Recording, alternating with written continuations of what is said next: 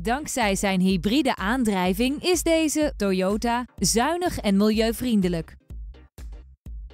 In deze auto hebt u de beschikking over climate control, een achteruitrijcamera en een panoramadak. Deze auto is uitgerust met tal van veiligheidsvoorzieningen zoals ASR, elektronische remkrachtverdeling en LED-dagrijverlichting. Nieuwsgierig? Bel ons nu voor een proefrit.